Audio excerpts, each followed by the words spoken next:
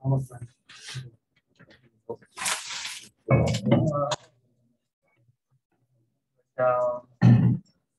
Uh, screen.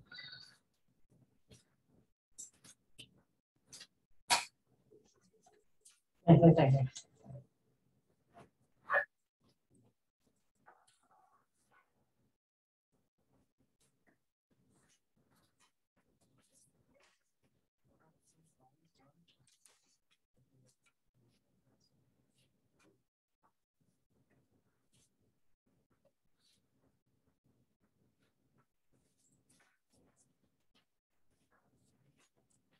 This.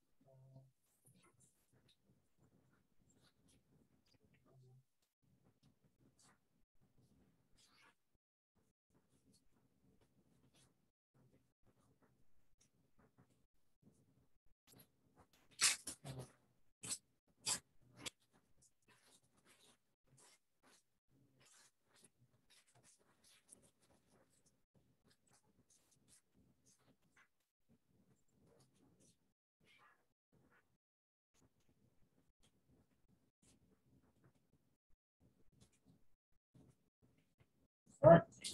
I have to send any. Which one we wanna go? to? I'll see if the one's open again. Sometimes they lock it, so.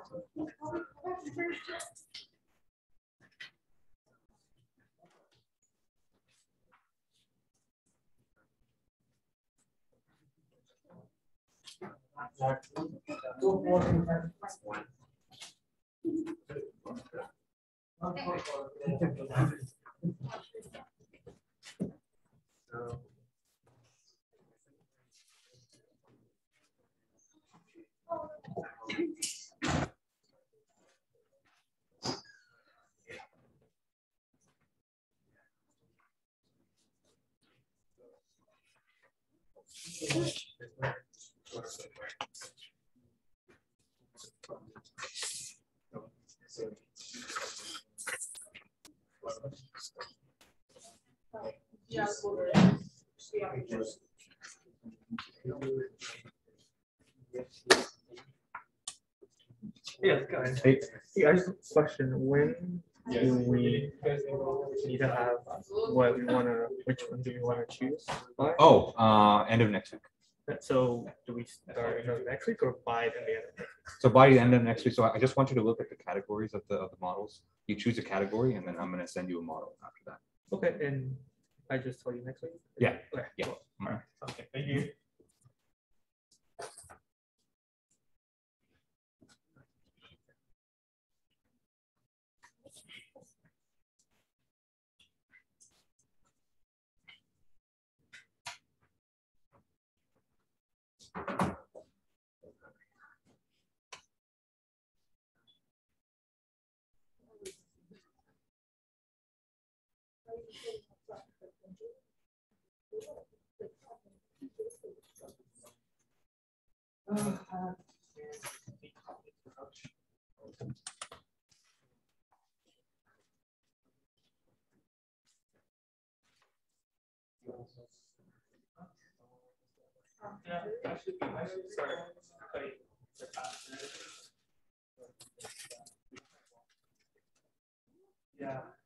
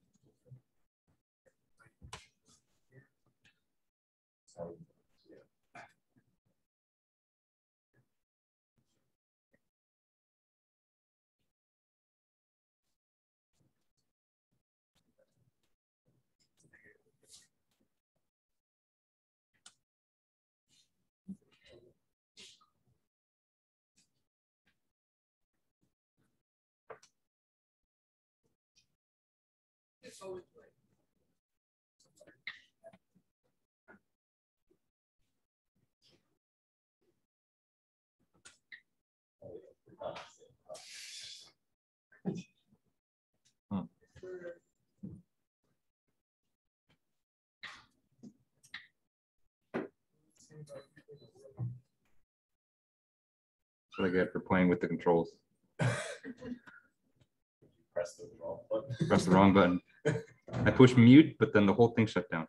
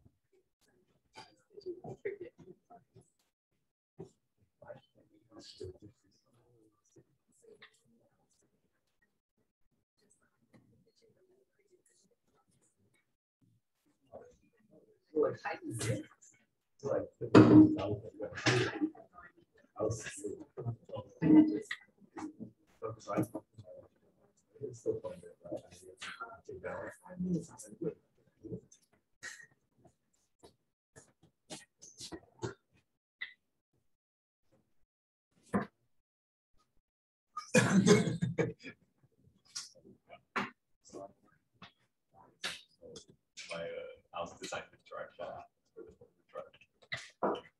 Had to take a look at the lighter weight, but then. All right.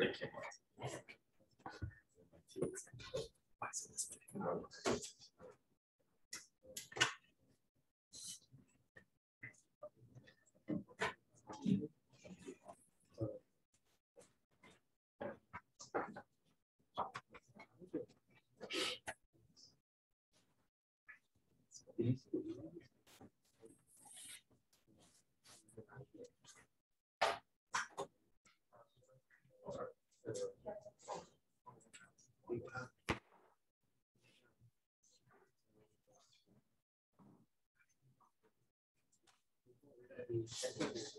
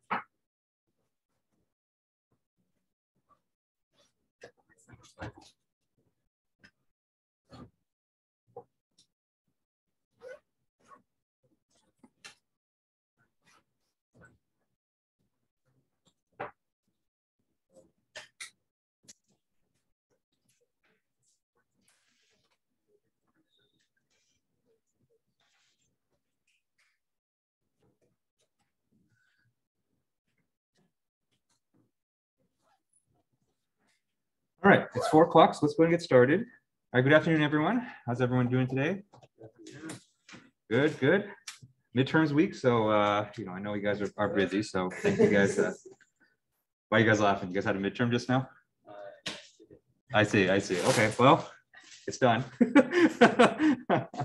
Uh, you know, just like uh you know the good thing about a lot of negative experiences in your life a lot of them end eventually and so that's always something you can uh, look forward to okay um so today uh, we're not taking a midterm so today we are continuing on with our set of lecture notes on lump parameter modeling um, and so we ended kind of right in the middle of an example and so we're going to finish that up and i have quite a few other examples that we're going to talk about today as well okay uh, hopefully we'll, we we finish it, but uh, but if not, it's okay. We can finish up the rest on Tuesday.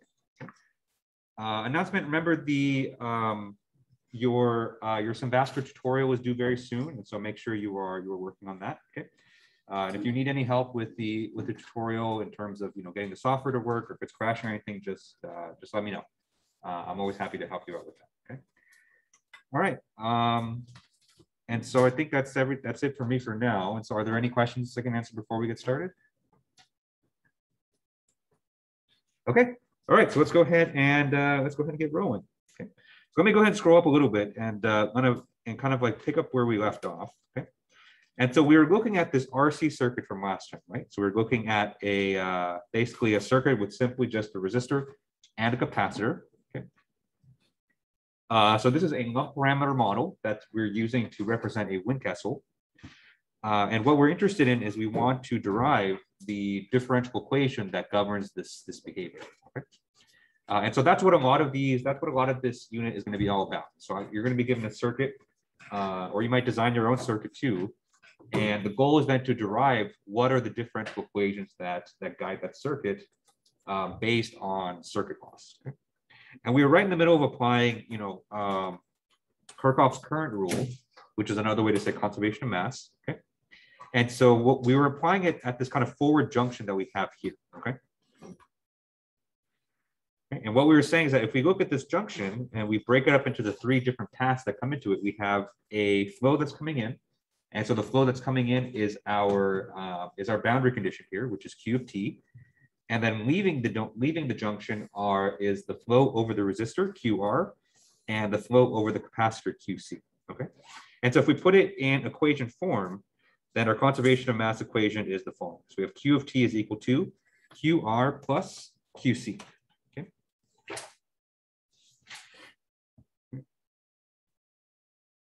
Where the flow over the resistor QR is equal to uh, the difference in pressure divided by the resistance. And so that's given by our Ohm's law, right?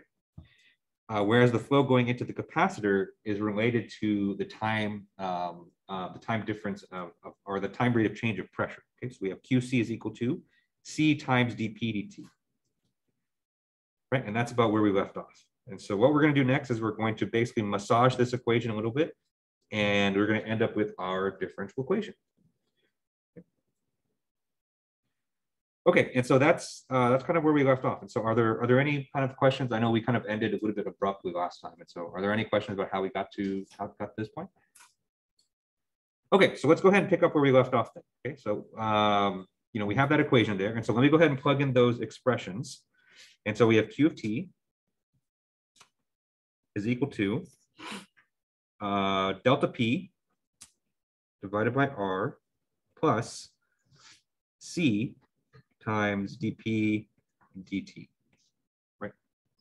Where again, this right here is our q sub r, and this right here is our q sub c. Okay, flow over the resistor and flow over the capacitor. Okay, let's look at this term first. Okay, so we have we have delta p, right? And so what that delta p there represents is the fact that if you have a resistor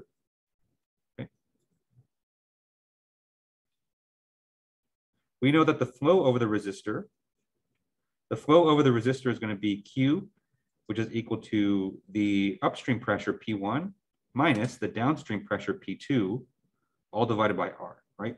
And so the delta P that we have there represents this difference in pressure that we have right here, okay? And so just whatever pressure is upstream on the resistor minus whatever pressure is downstream on the resistor, and we just divide that by the resistance.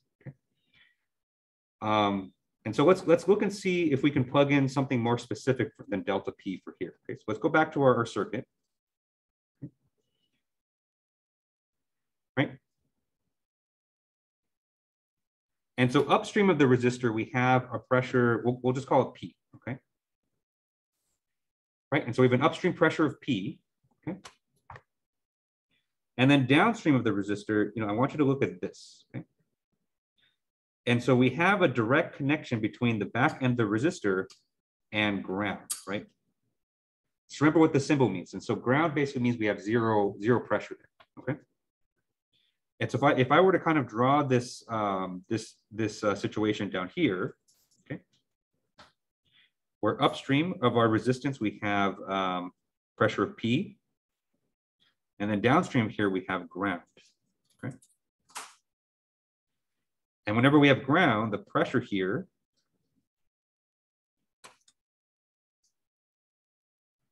pressure is zero there. Okay.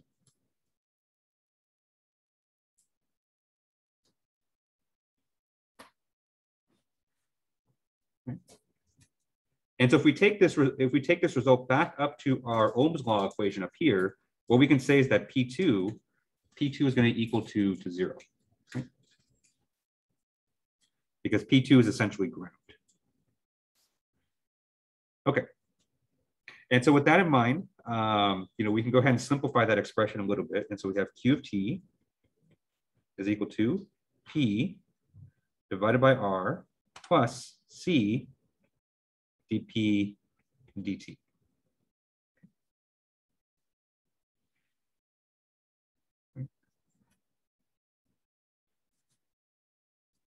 At this, at, at this point, it's- important to note that this P right here and this P are the same, same pressure?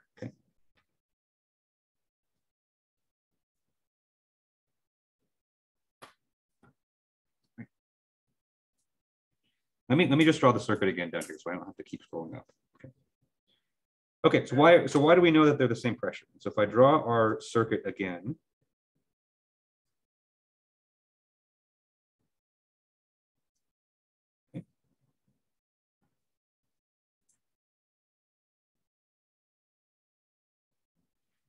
Right, so there's our circuit again.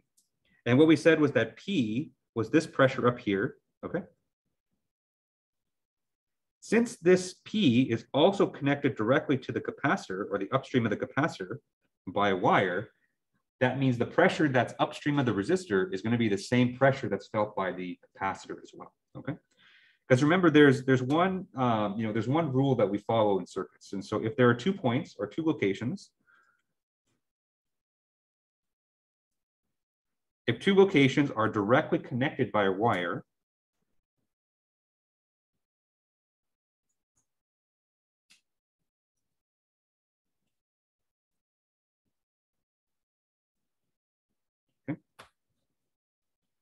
And so in other words, there's no, there's no components in between them. So there's no resistances, there's no capacitors or, or anything like that. Then by definition, those points have to be at the same, at the same voltage, or in other cases, it's gonna be the same pressure. Okay.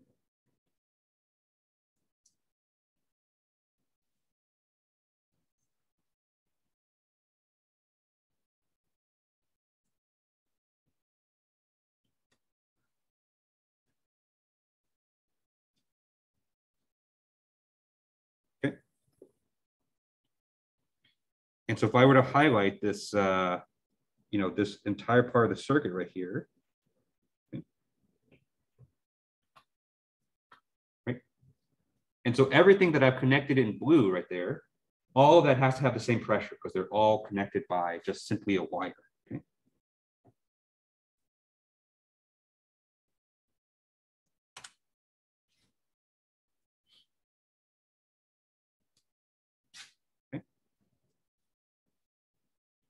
And so that's why we can make that equivalence where, you know, the pressure that we're, that we're um, supplying onto the resistance, the P and the P over R, that's the same pressure that's going to be applied onto the capacitor as well. So dP dt.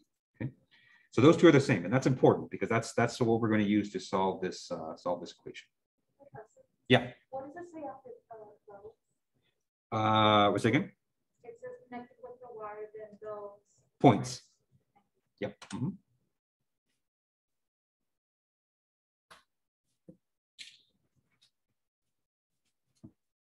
Right. Yep. Question.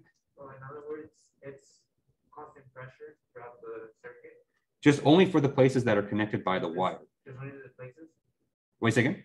just only the places? Um, so any, anything that's connected by a wire without, without anything in between, then those have to have the same pressure, but that's not the same pressure throughout because as soon as we cross over this resistance right here, it changes, right? So everything over here, everything over here is the same pressure because they're connected by a wire, but that's different than the blue because then you have to cross over a component to, to get to that point. Yeah. Mm-hmm. And in fact, everything that I've highlighted in green right here, they're all at zero pressure because they're also connected to ground.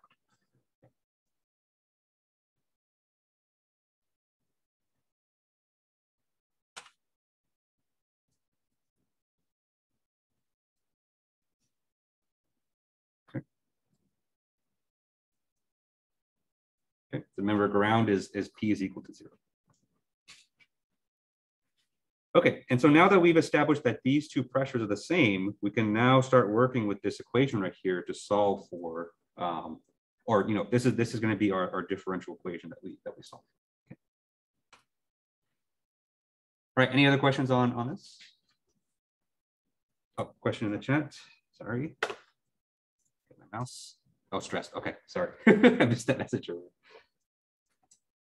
Okay, all right, so let's go ahead and, and, and massage this equation a little bit more. Okay, so we're, we're, we're basically there. And so remember when we when we started this problem, we said that there is one differential equation that we need to solve for because we have one capacitor. And lo and behold, here it is. Okay. And so we have one differential equation.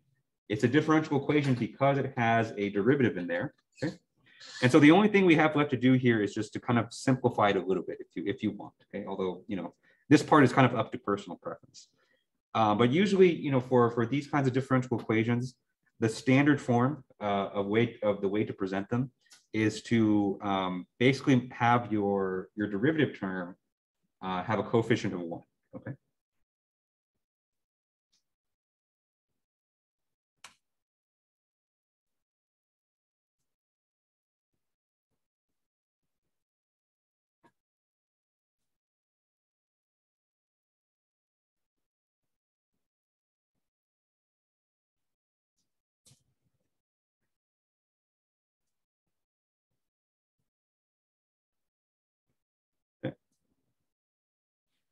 Um, you know, it, it, it just kind of helps with, uh, um, you know, with standardizing, especially, when you start looking at um, uh, systems of uh, systems of, of differential equations. Um, it helps to have the the um, the uh, the derivative part here have a coefficient of one just for just for uh, um, just for programming sake. Okay. And so to that end, I'm going to take this equation and divide it by c. Okay.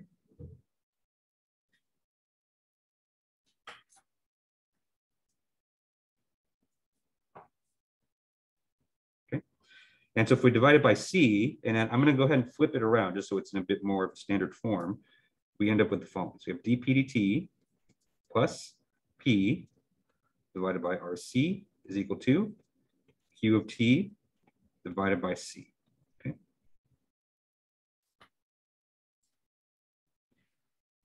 Right. And then that's and then that's it. And so this is our this is our ODE.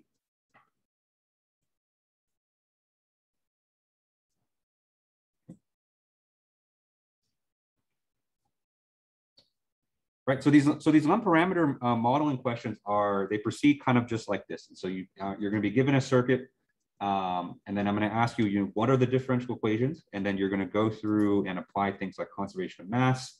Uh, later on, you'll you'll we'll see an example with an inductor, and so you'll use the inductor equation in order to get differential equations like, like this. Okay. Okay, and so now that we have this differential equation, you know, what's uh, what what can we do with it, right? So it, it's great that we have this equation, but um, you know, how do we actually use this for something useful? Well, I think it's it's good to uh, to talk about, you know, what are some of the things that you're given, uh, and what are the things that you're going to be solving for. Okay. Okay. Uh, and so in these, and, and when you and so when you actually go to solve these equations, you know, usually you're going to be given the values of all the circuit elements.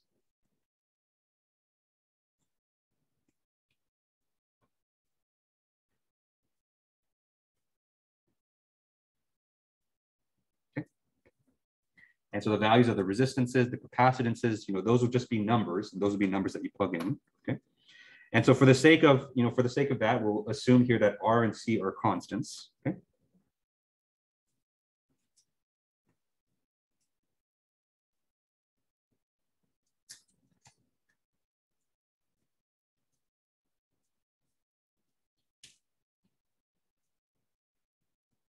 Okay, so those, those are just parameter values, and so they just end up being numbers, okay?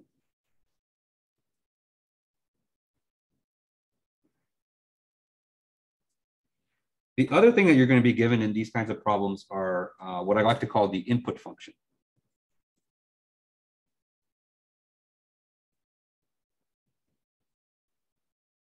Okay. Um, and that usually takes the form of some kind of either Q of t or P of t. Okay, and so in this case, we're given Q of t. Okay. And so if you recall, you know, that Q of t if I can come back up to the circuit right here,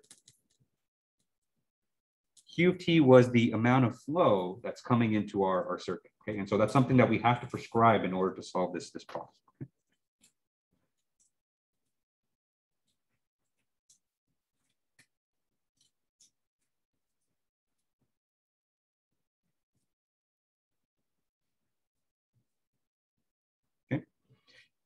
And so that has to be given to you to, in order for you to solve this ODE as well, okay? And so what these input functions represent is they represent um, either the flow or pressure that's usually coming into the circuit at one point.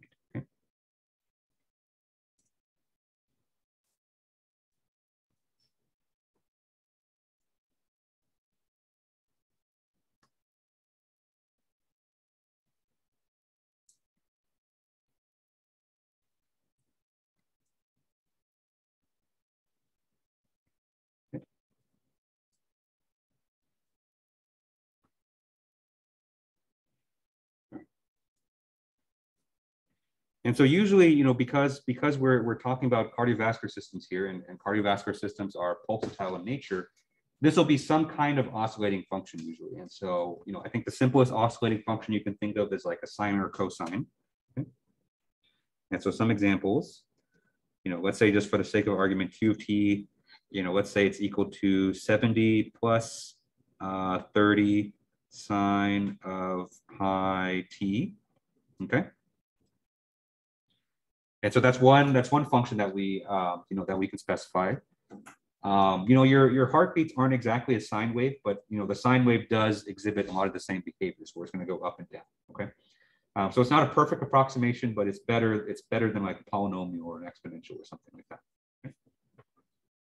And so what does that represent? And so you know, let's you know we we haven't really connected this to uh, to fluid mechanics yet, but you know, let's say that we're using this RC circuit um, to model your aorta. Okay. So this is all kind of an aside. So, you know, we're kind of taking an aside from this problem, uh, but I want to kind of give some context to all the parameters here because, you know, I want you to kind of understand what each of these kind of parameters come from and what they represent.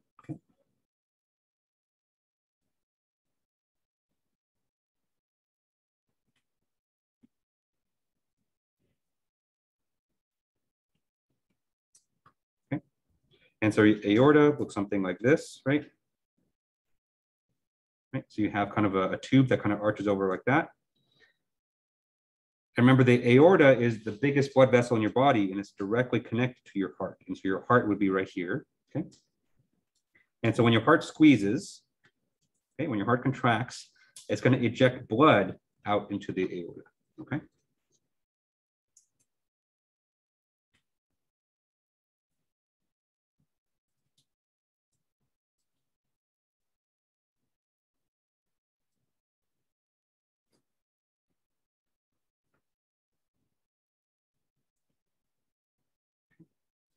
And so in these situations, we can, we can represent the flow rate of blood coming out of the heart with that Q of T function.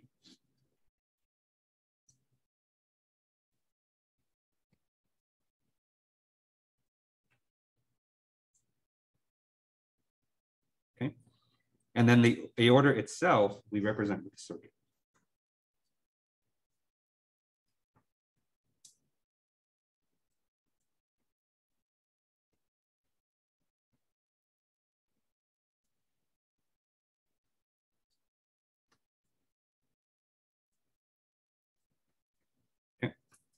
And so if I were to redraw this uh, circuit here.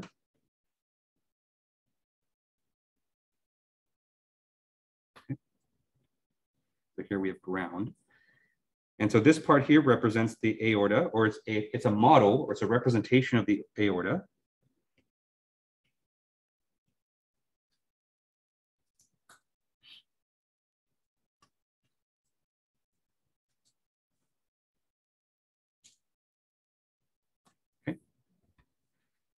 Whereas the input to the model, this is our heart, okay?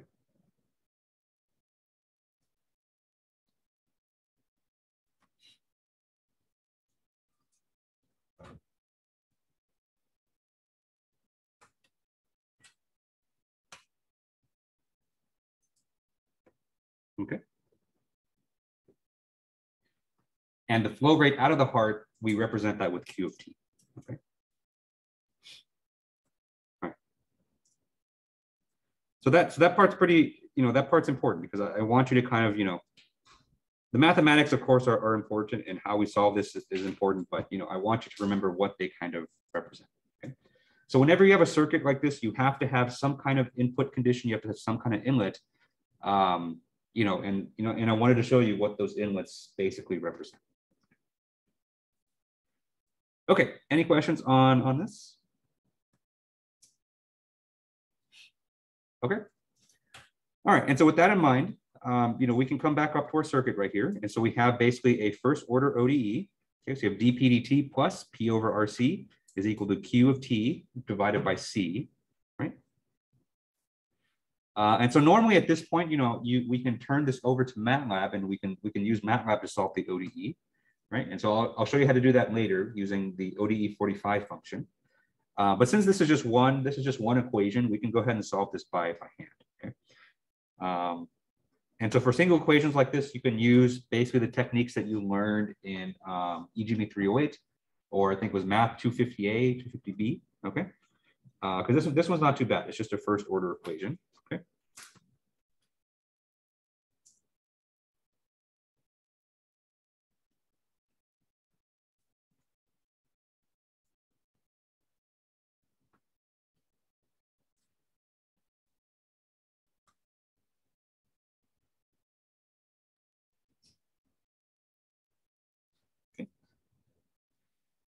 And so if you're if you're curious about how I how I derive this solution, I'm not going to go through the solution procedure, um, but I use a technique called integrating factors.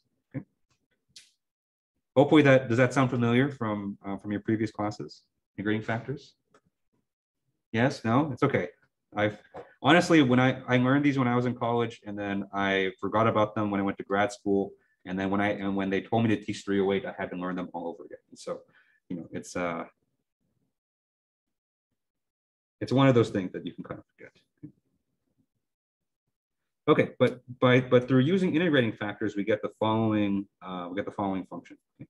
So we have P of t, which is our pressure on the capacitor or pressure on the resistor as a function of time, is equal to e to the minus t over RC multiplied by the integral from zero to t okay, of q of tau divided by c times e to the tau over rc d tau plus p of zero, okay? And this e to the minus t over rc multiplies that whole thing. Okay. Bless you.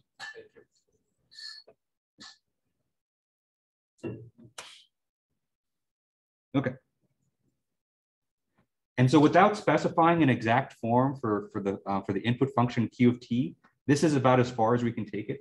But if you wanted to solve this even more exactly, you can take, you know, an example Q of t, right? So let's say that we have 70 times uh, 30 um, sine of, uh, of, of uh, pi t, okay? And so if you plug that, uh, if you plug that function into Q of t, then you can carry out this integral and actually solve for, for it, okay?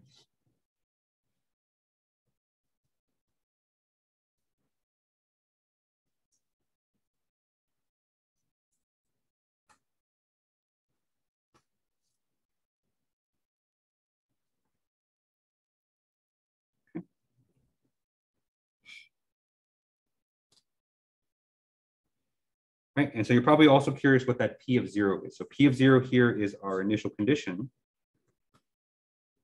Or in other words, the initial pressure on the capacitor.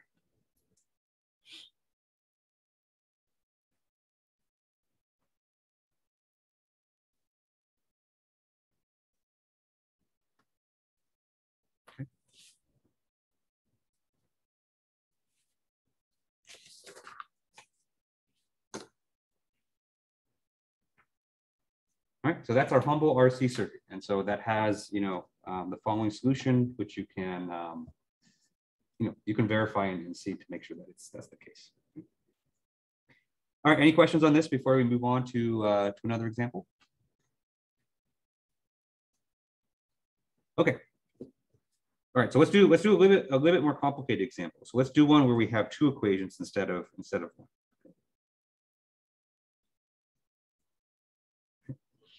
And so to get that second equation, I'm just going to add an inductor to this uh, to the system. Okay, so this is going to be an LRC Windkessel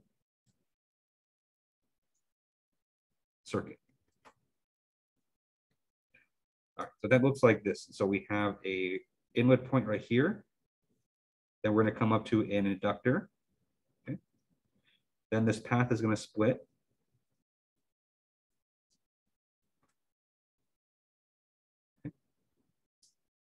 and then we're going to come up to ground right here. Okay. And so we have our inductor has a value of L, our resistor has a value of R, our capacitor has a value of C. Okay.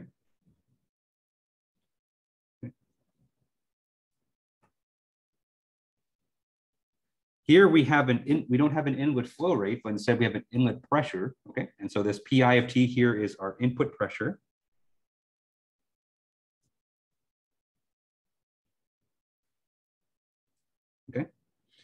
And then at this, at this junction right here, uh, we have P, I'll call it P sub C, because this is going to be the pressure that's on the capacitor. Okay.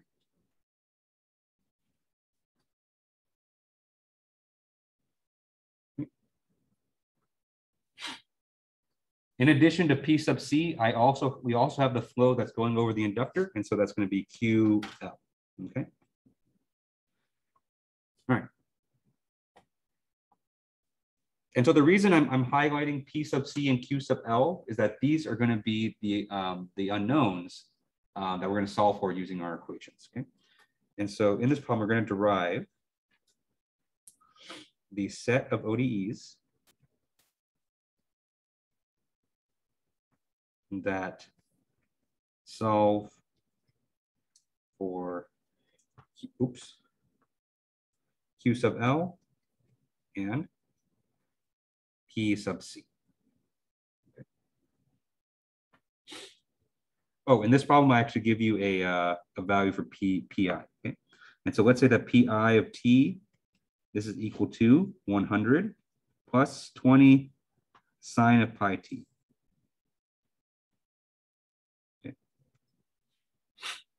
And so that's going to be the functional form for PI of T.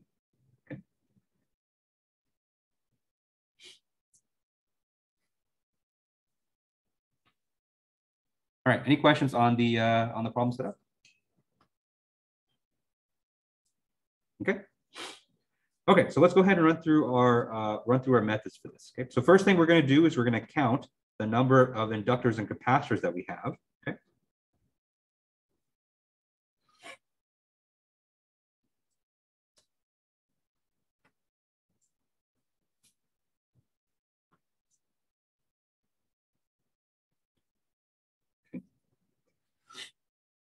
And so in this problem, you can see we have one inductor. And so we have the, uh, the inductor coil uh, at the inlet, and we also have one capacitor.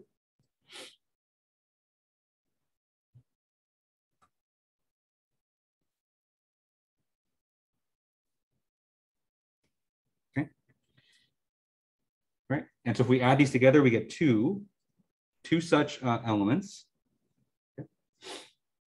And remember what this tells us is that, you know, for each inductor and each capacitor that we have, it's going to give us one ODE. And so in total, we're going to solve for two ODEs in this example.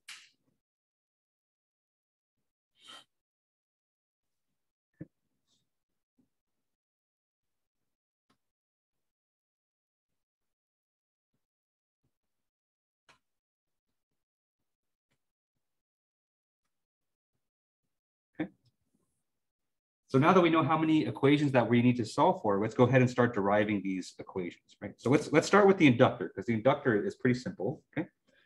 Uh, so for inductors, what you can do is you can use um, basically the inductor equation, okay?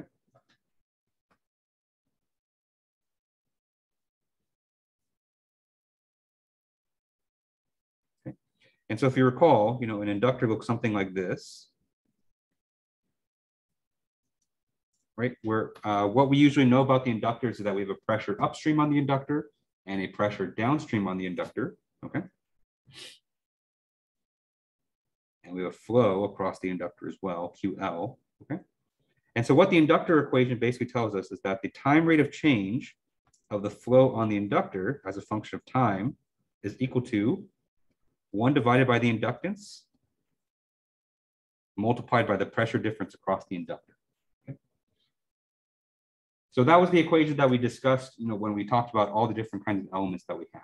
Okay, so the inductor was, uh, which is simply this one right here. Okay. And so for this particular problem, you know, we have, um, you know, we have, we actually have everything um, that's needed already, okay? And so the upstream pressure on the inductor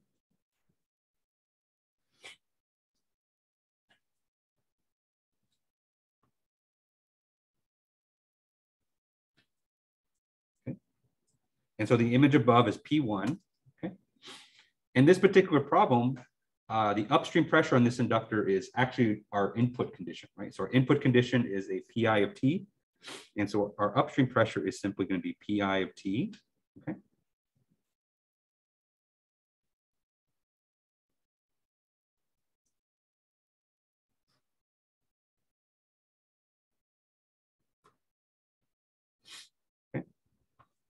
We also know the downstream pressure. And so the downstream pressure is directly connected to the capacitor. And so what that tells us is that the downstream pressure on the inductor is the same as the pressure that's on the capacitor. Okay, and so that's P sub C. All right, so let's go ahead and plug these in, and then we're going to uh, use that to get our first our first ODE for this for this problem. Okay. And so our first ODE is simply going to be the time rate of change of the flow on the capacitor dq dt is equal to one divided by L multiplied by the upstream pressure pi of t minus p sub c.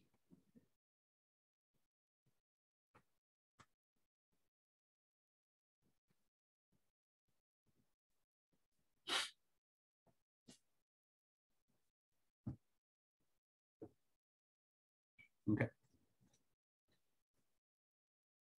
And so to get this equation, remember all we did was we took our usual inductor equation and then we just fit in the pressures that uh, um, that were being applied on, on this problem. All right, any questions on uh, any questions on how we got this? Okay. All right, so that's the that's the inductor equation. And so for the for the capacitor equation, you know, let's do the same thing that we did before, and let's apply conservation of mass or Kirchhoff's current law, whatever you want to call it. Okay.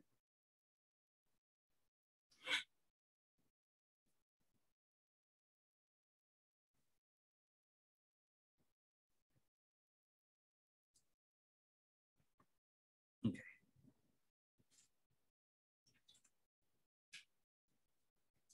And so just like in the last example, you know, we have a fork in the road, okay? And so we have a flow rate that's coming in and we have a flow that's going to go over the resistor and a flow that's going to go over the capacitor QC. Okay. And so if we apply conservation of mass, this tells us that Q sub L is equal to Q sub R plus Q sub C. Okay. And so exactly the same as before.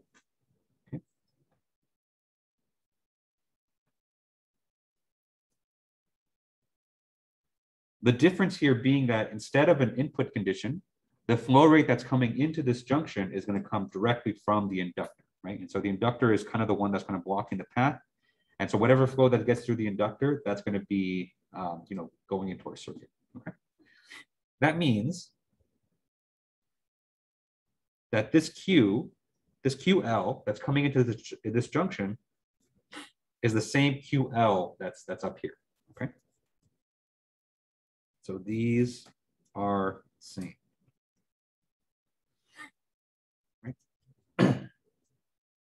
And that's going to be really important when we go to solve them because, um, you know, what we're going to say is that, you know, because this the same variable appears in both equations, uh, one way we can say that is that these equations are coupled. And so we can't solve them individually. We have to solve them at the same time. Okay, uh, but that's not the but that's not the only degree of coupling that we're going to have. And so just like we did last time, let's go ahead and plug in for QR and QC. Okay, so QR is equal to delta P divided by the resistance. Okay, and Q sub C is going to be C times the time rate of change of pressure on the on the capacitor. Okay, this Q sub C.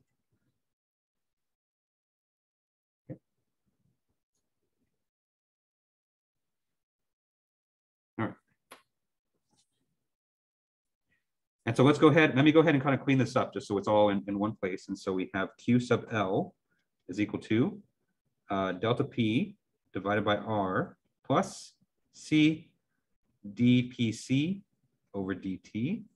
Okay.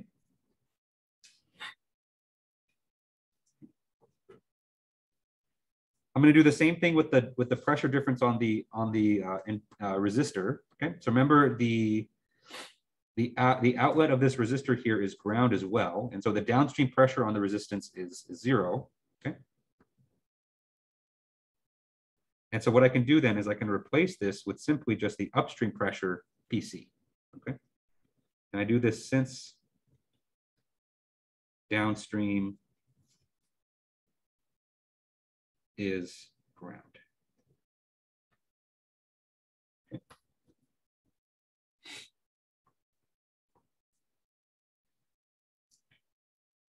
All right, so we're just about done. And so let me go ahead and just rearrange this a little bit. Okay. And so I'm going to take this expression here divided by C, okay, so get to, to get the time derivative by itself.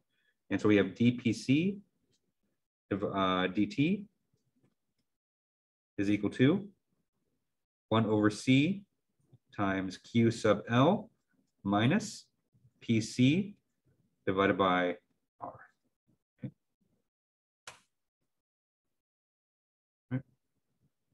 And so this here is our second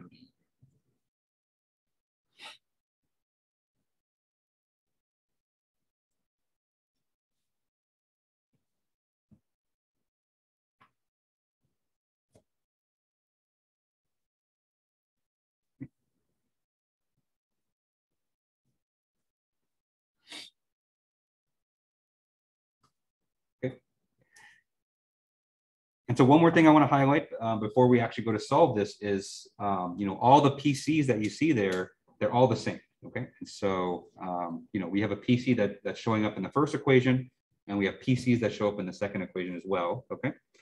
And so whenever you have this, this, you know, both equations have variables that are in each other's, um, you know, in, in each other's equations, what we say is that these equations are coupled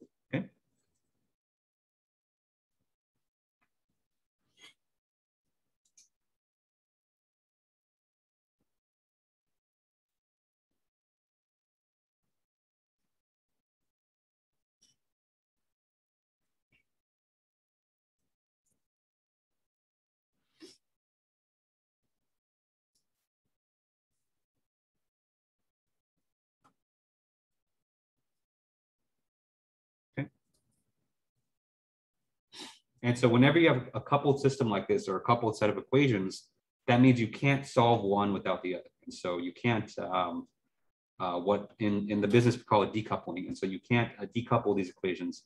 And so the only way to solve the system is to solve both equations at the same time.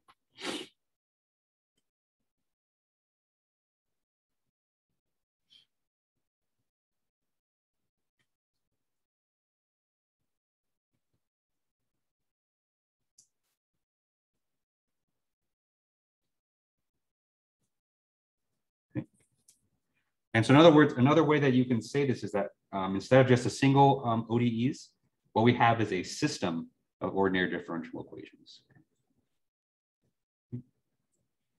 Did you guys learn how to solve systems of ODEs in, in your previous classes before? I know uh, it's in the, it's in the textbooks for 308, and I, have always I've always thought about it whenever I whenever I teach 308, um, but I, have never actually done it before. But I'm curious to see if, if anyone's ever done it in a previous class? Yeah, calculus classes, so if we go over it, Okay, okay, okay. So it's, so it's, you know, you guys are at least familiar with the concept then. we're familiar with the concept, yeah. Okay. That's okay. In, terms of methods and how to solve these by hand, I, I, I actually don't remember them either. It's like the, it's like the integrating factors. And so don't worry, you know, we're, I'm not going to make you solve these by hand, you know. Uh, we're going to use MATLAB to solve these for us. And so that's the next step actually. So the next step, we're to, we're to jump onto uh, MATLAB here on the computer. Uh, and I'll show you how to set this up in, in MATLAB. Uh, but before, but before I do that, are there, are there any questions on how I obtained um, any of this stuff?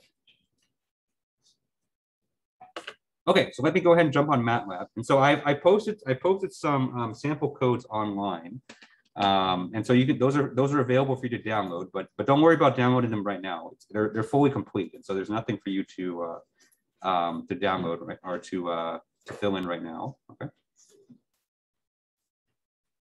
Okay, so let me just kind of show you where they are. And so, you know, I, I posted kind of two full, uh, two full examples here. Okay. And so if you go to week six on our, on our page right here, you'll see that I've posted kind of two sets of codes. Okay. And so I have LPN example one, LRC, okay, uh, with the accompanying helper function here. Okay. And so this is the example we just did. So these, so these two go together. So make sure you download both at the same time. Okay. And then these, these other two also go together. Okay. And so we're going to do this example afterwards.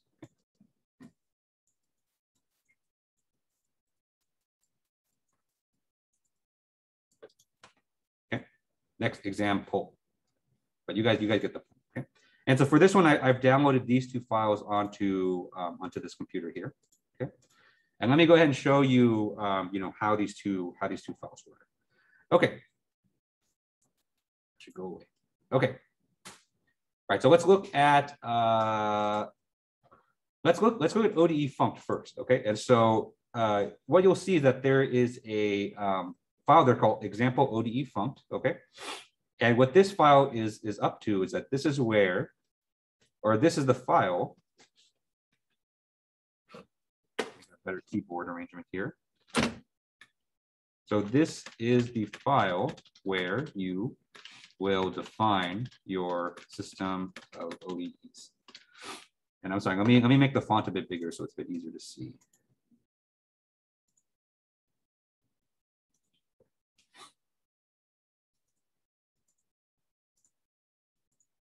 There we go. Is that, is that big enough or is that obnoxiously big? Big enough. Okay. Okay. Find your system of. Okay. And so I think this is this is a good this is a good file to start with because it's uh, you know kind of intuitively when you're working on these problems this is this is where you're going to go first right and so you've, you've just kind of worked these out by hand and you have the system of ODEs and so now you're ready to plug it into MATLAB okay and so uh, I want you to kind of start with the syntax up here. And so notice how, you know, we, we start this MATLAB um, script with a with a keyword called function, okay? And so function is, is a keyword that basically say that basically states that this entire file right here, it's not going to be a full script on its own, uh, but all it does is just it, it defines a um, what what MATLAB likes to call like a subroutine, okay? And so this subroutine is one that's going to be needed um, you know, to solve our ODEs, okay? And so for, you know, when you're writing kind of your own code, so the, the next homework, the next homework that I'll assign you guys is, is for parameter modeling. And so when you guys are writing your own codes, um, you know, you can just copy this exact same syntax up here. So you can just kind of copy this code. Okay. And so the next the next thing uh, that you'll see here is that I have a um, I have lines here to define the input function. Okay. And remember, we had an input function called um, pi. And so that function was called 20, or it was defined as 20 times sine of pi times t plus 100. Okay? And so you need to make sure you define your input function here. Okay? Next thing you're going to specify here are the parameter values. And so we have uh, our inductance value, our capacitance value, and the resistance value. Uh, so don't worry about these exact numbers just yet. Um, you know, we'll, we'll talk, we'll talk about how to, how to set these later. Um, but you know, for now, I'm just gonna give it to you, okay? And then from here, um, you need to, what I like to call kind of label the unknowns, okay? And so if you, if you look back, if you look back in your notes and you look back at the two equations that we derived, you know, we had one equation where, um, you know, the derivative or the, the, the, the variable of interest was Q sub L, right? And so we can define a variable called Q sub L, and that's is going to, this is going to be equal to Y at one, okay? And then the other, the other variable that we had was the pressure on the capacitor, which here I've labeled P sub one, but it should be P sub C, okay? Okay, and this y function is, is kind of defined in the, in the arguments here. Okay? But you, but again, you can kind of just follow this exact same syntax as, as written. Okay? And so for systems where you're going to have more ODEs than two, um, and so the next example will have, uh, actually, I think the next example also has two. Um, but if you have if you have more ODEs that you can solve for, then you can you can just add more add more variables here. Okay. And so from here, this is this is where you actually define your ODEs, your ODE system. Okay. And so first thing you need to do is you need to create a variable to store all your all your derivatives. Okay. And so here you can see I've created a function called dy dt. So dy dt stands for the derivatives of all your of all your unknowns. And it's going to be equal to a zeros function, where this zeros function basically creates it creates an empty vector. Okay. And so the first thing we're going to do is we're going to set dy dt of one. Okay, and so this is our first ODE. Okay, and so if you look back in the notes, you can see that our first ODE was dq dt is equal to one divided by L multiplied by the input pressure minus the capacitor pressure. Okay. And that's exactly what I have here in the code. And so in the code here, I have one divided by L multiplied by PI. PI is our input pressure minus P sub one, which is our capacitor pressure. Okay. One thing you can do, and so notice how as I'm writing this code, I'm, I'm kind of labeling stuff. And so, you know, don't be afraid to do that as well, because I think the thing that, um, I mean, one of the many things that I think people find difficult about programming is kind of getting lost in kind of this alphabet soup of variables. And so um, it helps, you know, at least for me, it helps a lot, especially writing bigger programs to kind of label what everything is. Okay? So this Q sub L, let me just call this flow on the inductor. And this P sub one here, this is the pressure on the capacitor. Okay. And so that's our first ODE. And so our first ODE is, um, you know, given right there. And then our second ODE will be defined on the second line right here. So if dy dt at two is equal to one divided by C multiplied by Q sub L minus P1 divided by R1. And so this is our second ODE. Okay. okay. And so that and so that basically, you know, what we've done here is we've basically defined a MATLAB subroutine um, to, to uh, that defines our system of ODEs. Okay. And so when you're doing this on your own, you can you can copy kind of a lot of the same syntax that I, have given you here. Um, of course, but of course you would have to change the, you know, first of all, change the parameter values, and you would of course kind of change these equations as, as you see fit as well. All right, any questions on uh, any questions on this? Okay. All right. I mean, this is given to you, and so you know you, you don't have to take any pictures. It's it's it's literally there for you on online. um, but if you want to take pictures, you can do that too. Okay. And so the next thing we have here is the is the MATLAB script that's actually going to that's going to run it. Okay. And so for a lot of these two, you can you can just kind of copy the same syntax. Okay. But I'm just going to give you kind of an explanation of what each of these lines what each of these lines do. Okay. Okay, so let's start. Let's start with the time period. And so for the time period, um, this basically specifies um, the starting and ending times um, that you want to solve. Okay. And my nose is running like crazy. Okay. All right, and so you could.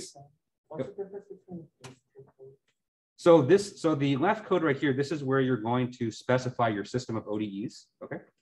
Uh, and so and so the equations that you basically derive, you can you you put them in this left in this left code right here. Um, but this code itself, you can't run it by itself, and so you need to have um, what I, I, I like to call it's kind of like a pilot code. So the one on the right is kind of the, the code that actually runs the whole thing. And the main reason I, I have this format is, you know, we're using this function right here in MATLAB called ODE45. And ODE45 has a very kind of specific way that it likes to do things. And so, you know, that's why if you're going to use ODE45, you need to have kind of a, um, a subroutine MATLAB script as well as a driver MATLAB script okay, or, or a pilot. Oh, okay. Oh, okay. You can run in one file by putting it at the function at bottom. Okay, that's that's good. Uh, that's good to know. I've I think I've seen that before, but I, have never actually done it in practice. But I'll, I'll have to experiment with it, uh, you know, later on. Okay.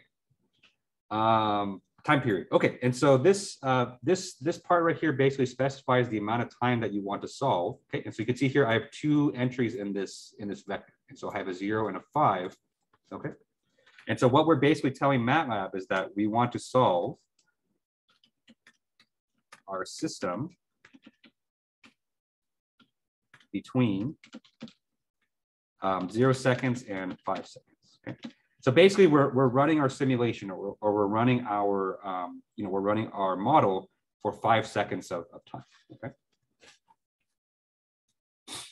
Okay, and so if you wanted to, if you wanted to run this for more time, you can you can increase this here, and so you can increase this to um, you can increase this to 10. So if you want to solve it for 10 seconds, um, but you know for now I'll keep it at, at five.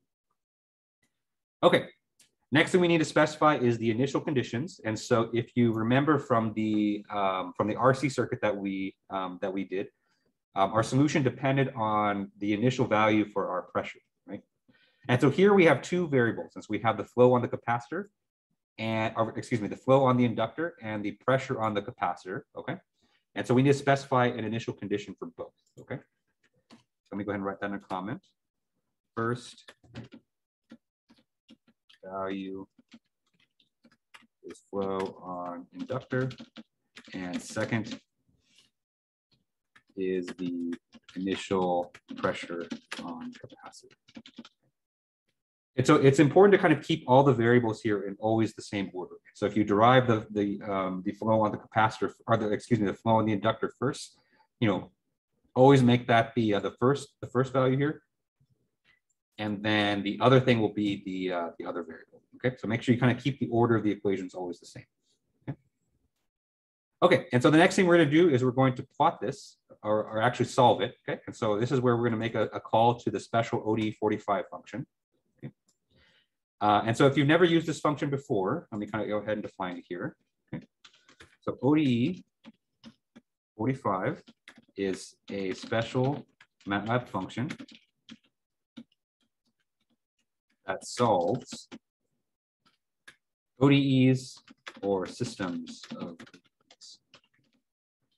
so it's really useful because you know ODEs are, are one of those things that are that are difficult to solve, and so this ODE, ODE 45 function is um, you know really useful for that. Okay. okay. and so in terms of the syntax for uh, for it, so actually let me go ahead and, and do this just so you can kind of see everything at once. Okay. okay. All right.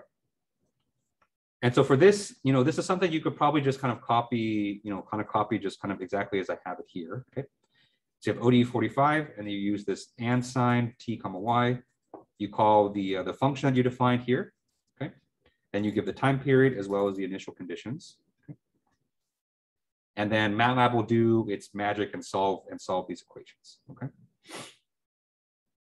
Um, okay. Um, any questions on, on any of this so far? What are sort of like the limitations of ODE forty-five? Isn't there like a bunch of them?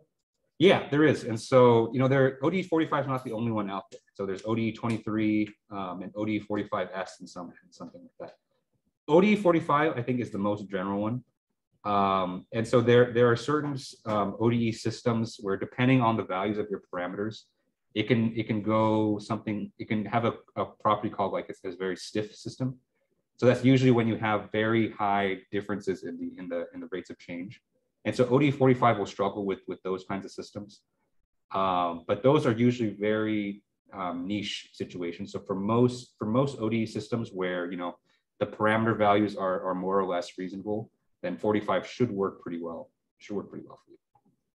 it's pretty smart. It'll it'll choose time step sizes and it'll choose um, you know parameters um, you know to solve the system. But yeah, but it does have some limitations. But those are more for kind of specialized problems. Mhm. Okay. And so after we called ODE45, then the next thing we're going to do is we're going to plot the results. Okay. Uh, and so after you solve, basically ODE45 is going to spit out your is going to spit out your um, um, your uh, variables of interest into this variable called y. And so all that I'm doing here is I'm just extracting the values of y and I'm putting them in specific variables. Okay. And then from here, I'm just going to plot. Okay. And so figure one, figure one that's going to pop up, that's going to be the flow through the inductor as a function of time. And figure two that pops up, that's going to be the pressure on the capacitor as a function of time. Okay, so let me go ahead and run this. Okay. And so because it's solving an ODE, it does take a bit of time, okay, but not too much. Okay. And let me kind of bring these down here. Okay. Right, and here are our results. Let me flip it. Okay. So figure one right here, you can see this is the flow that's on the inductor. Okay, so you can see it has the sinusoidal shape. Okay. And the pressure on the capacitor also kind of has the sinusoidal shape. Okay. Um, and so the reason we have a sinusoidal shape here is because our input was was sinusoidal, right? And so remember our input was a, a, basically a sine function. And so in those kinds of situations, eventually what you would expect is you would expect all the behavior of the circuit to match, you know, what the input looks like, okay? But if you look at kind of the initial phase here, so if you look at these, you know, these kind of peaks here, these look a little bit different than the other ones, right? And so, and so that the reason for that is that because of the, uh, you know, because of the inductor and the capacitor, this is kind of like a warming up period for the circuit kind of getting used to this, this input, okay? Um, you know, and so this circuit, you know, has this kind of solution and we solve for it, um, you know, almost exactly with the, with the ODE 45 function, okay? And so if you didn't have ODE 45, you would have to use an analytical method for solving a system of ODEs, um, you know, which is possible, you know, it's not the worst thing in the world, but, you know, usually it's a lot easier to set up a code to solve it for you. Um, and the nice thing is you get these nice, beautiful graphs um, from it as well. Okay, and so I, I know that was really fast, um, you know, and you know, I think I think what you'll see is that when you actually go to use these these these codes, they're you know they're easier to use than, I think maybe you might, you might be thinking right now. Um, and so it all it all just comes comes down to just kind of giving it a try yourself. And so, you know, when you're you know when you're going to uh, to work on the next homework, uh, which I think I should have ready for you guys sometime next week. Uh, you know, go back to these examples and kind of go through you know this example as well as how I set up the codes. And I think if you kind of you know go go through it a bit slowly, then um, hopefully it'll be clear about how to set these up, and you can do them for the rest of the homework homework problems as well. Okay. All right. Any any questions on this before we return back to the uh, uh, return back to the notes? Okay. All right. And so you know I, I know that was a lot of information. Um, you know, but but these codes are, are there for you. And so, you know, definitely make use of them as we as we go forward. Okay. Let me go ahead and stop sharing. Let me come back here. Yeah. So I can solve multiple of these. What's the limit? It's not how many of these can solve. There's no limit. And so you can solve as many as as as many as you can dream of. Um, and so the function itself doesn't have a limit, but your computer does. And so, you know, um, of course, you can you can imagine that the more ODEs that you try to solve at the same time, it's going to take the, your computer longer and longer to do that. And so, you know, I should say it's not your computer. I'd say the limitation is is your patience, and so how long you're willing to wait for for the solutions. Okay. All right, so let's let's do let's do one more example because you know I think I think with these kinds of problems, you know, it's you know, we can we can kind of talk about as much as we can, but I think it really helps just to look at a few examples, um, just because it it uh, helps kind of um, settle things along. Okay, and so in this example here, we're going to step up the complexity just by one more step, and we're going to add a second resistor. Okay? And so this is going to be LRRC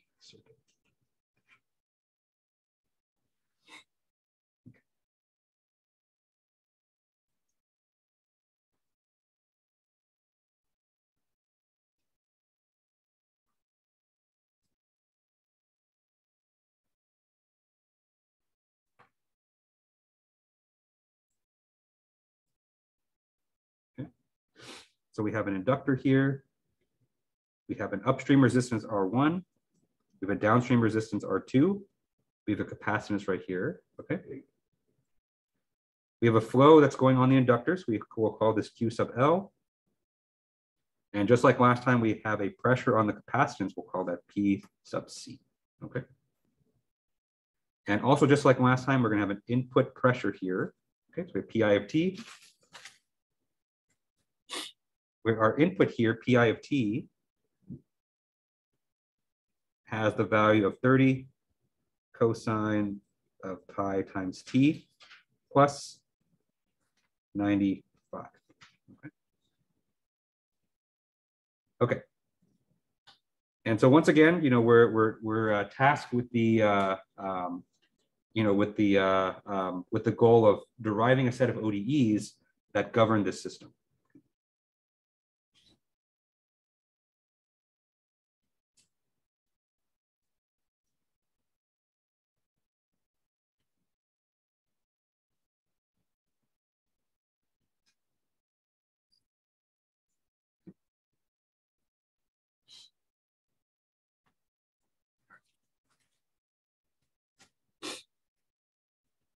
So not so not too too different from the last example, but you know, but we have kind of a, a dual splitting of the paths here. Okay, and so that's going to be that's going to be interesting. Okay. okay, and so just like last time, we're going to count the number of inductors and capacitors that we have. And so you can see here we have one inductor and one capacitor. Right, and so just like the last example, uh, we're going to need to solve for two equations.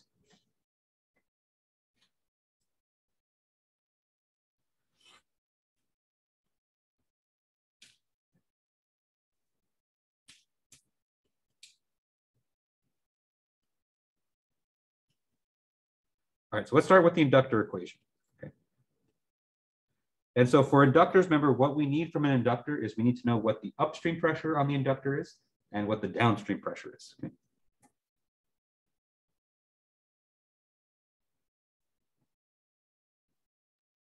Okay.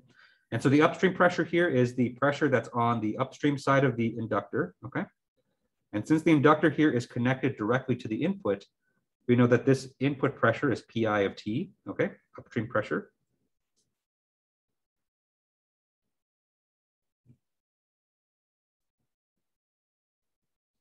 Okay.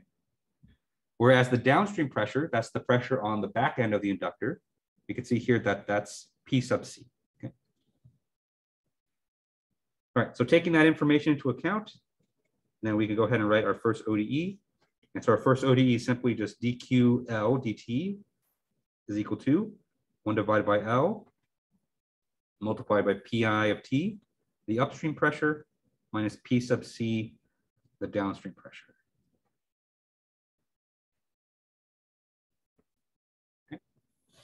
And so there, there's our first, our first ODE.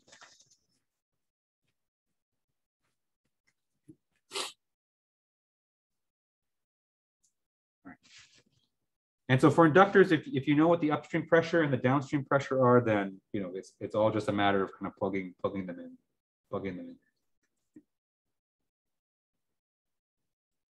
All right. Any questions on how we how we obtain that? Okay. All right. So now let's work on the capacitor. And so you know our our usual um, you know our usual uh, method for finding capacitors and so we have to apply conservation of mass.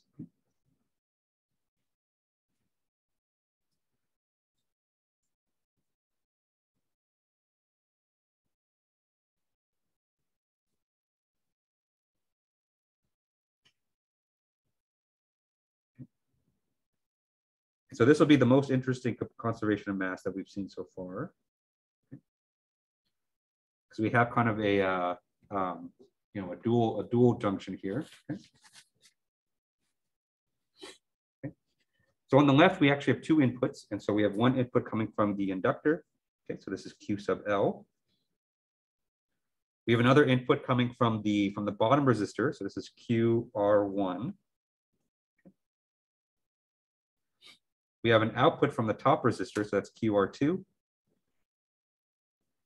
And then we have an output that's going to the capacitor. We'll call that Q sub C. Okay.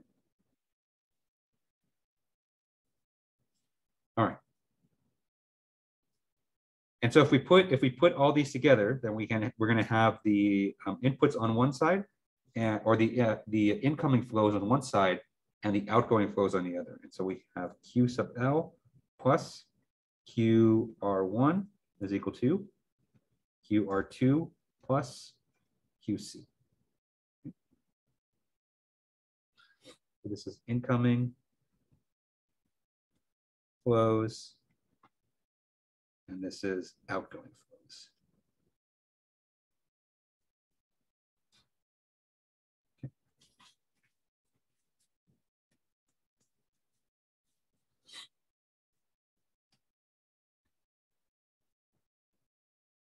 All right. So now that we have, now that we have this equation for conservation of mass of that, of that junction, let's go ahead and start plugging in for the, plugging in expressions for the Qs, okay?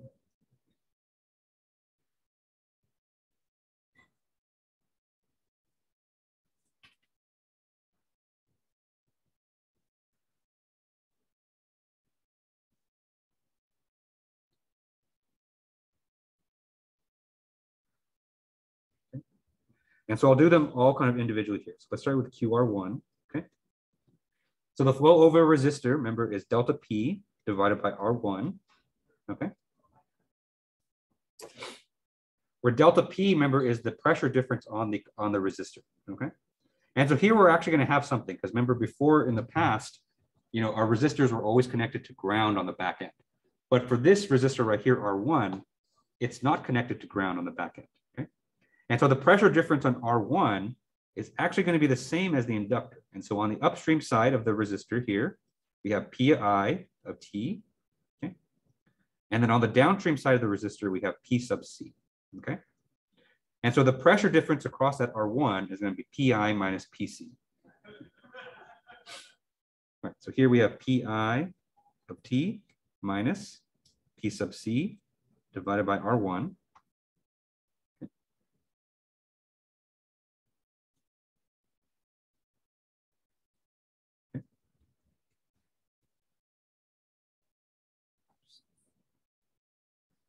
All right, now we have the flow rate across the second resistors. We have QR2. Okay. So R2 right here is connected to ground on the back end. And so the, um, the flow rate across it is just going to be P sub C, which is the upstream pressure on R2, divided by R2. Okay.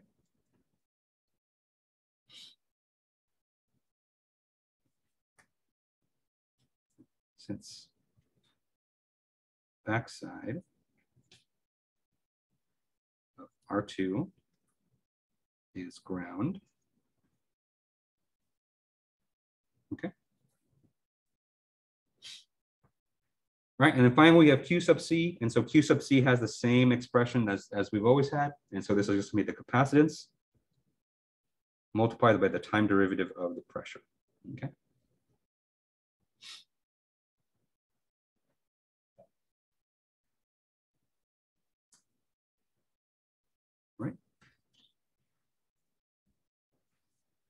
So those are all our expressions for the uh, for the flow rate. Um, and so all we have to do is just kind of plug it back into our conservation of mass equation, rearrange the terms a little bit, and then that'll give us our second our second ODE.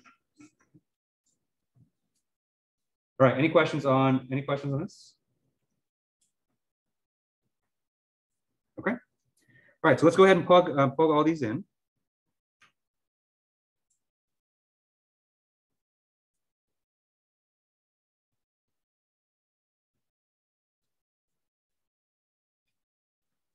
Okay, and so we plug these in and we rearrange. Um, we get the following expression. Okay, we have dpc dt is equal to 1 divided by c multiplied by q sub l plus pi of t minus p sub c divided by r1 minus p sub c divided by r2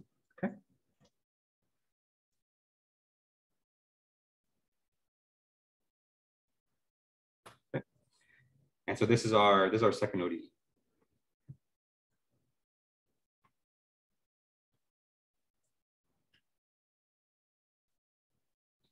Right, and so we have our first ODE, we have our second ODE, and so now this is ready to, to plug into to plug into Map.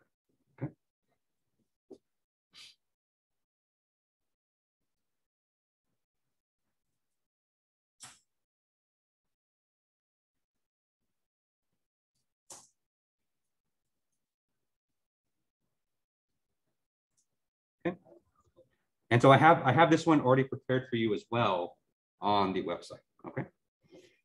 Um, and, you know, and so the setup for this one is, is very similar. And so I'm not going to go through the setup again, but I do want to run the code because I do want to motivate what we're going to talk about on, on Tuesday, which has to do with tuning. Okay. And so I'll give everyone a chance to kind of write all this down. And then I'm going to go ahead and switch to the computer really fast to run the other two, to run the other script. Okay. And so before I do that, are there, are there any questions on, on this?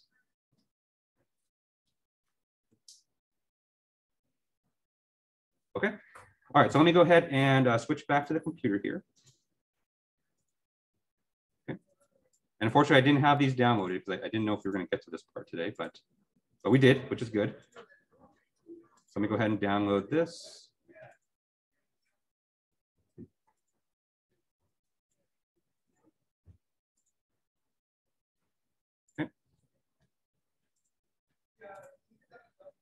Actually, excuse me for excuse me for a second.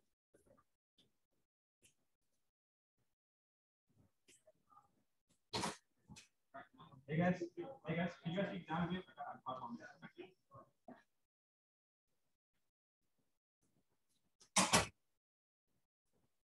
Sorry about that, guys.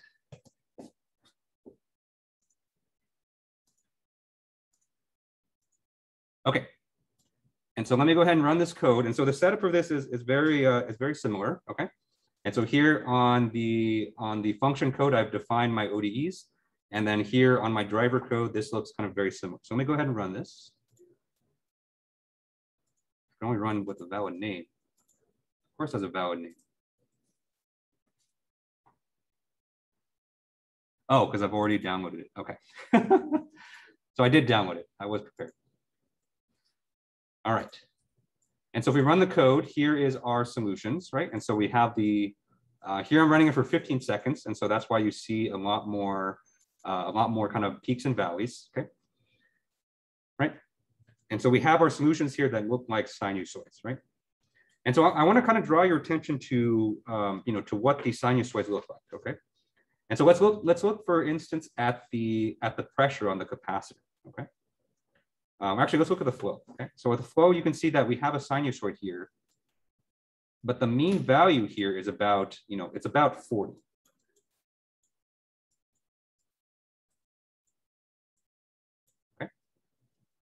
It has a mean value about 40.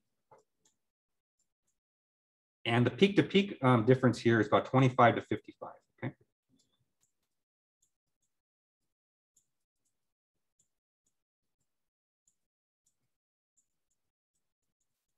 I suppose say peak to peak. Okay.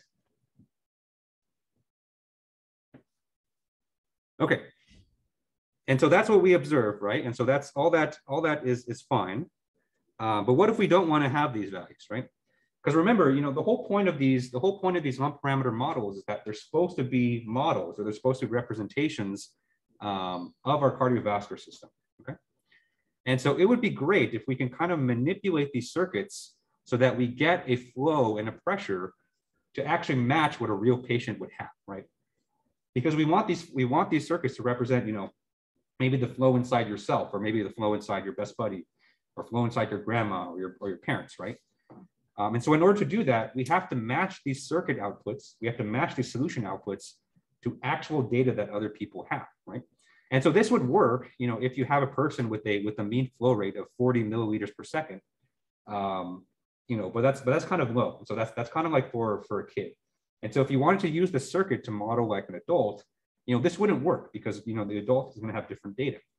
And so what we're going to learn on Tuesday is that we can actually manipulate the, the values of the resistances and capacitances the inductors so that we kind of manipulate the, uh, the outputs to match what are what, uh, what people can actually get, okay? And so that, that process of manipulating those circuit values is called tuning. Okay? And so on Tuesday, we'll talk about what tuning is and how we can actually, you know, choose these values more intelligently to get them to match outputs. Okay. All right, any final questions before we we wrap it up for the week? These two files, they're linked up together, right? So Yes. Yes, yeah. So you need to down, make sure they're all in the same folder and then uh, you can run them all, run them all together. All right, and so that's all I got planned for this week. And so thank you guys for, for coming today. Uh, I know it's a busy week. I'm sure you guys are really stressed, but uh, you know, I do appreciate you guys coming out. Okay. So have a great weekend, everyone. Um, if you have questions on SimVascular or anything, you know, please, please don't hesitate to let me know. Uh, and I'll see you guys next week.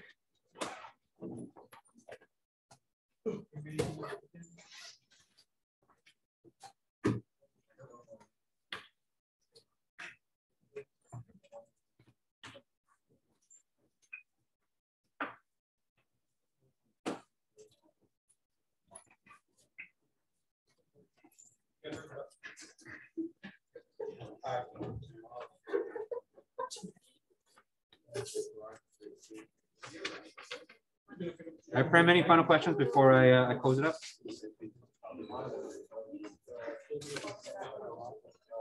Uh-huh, yes, Professor, uh, is there a real life analogy to the examples that we did today, or these are just examples for the sake of practice? So they, they are they are fairly simplistic, and so you know it- you can you can probably use them to model like a single blood vessel. Uh, But for an entire system, like you would have to use more sophisticated circuits, and so they're mostly educational. But you know if you're doing just a single blood vessel, then they can work from that as well. All right, okay. Thank you. Yeah.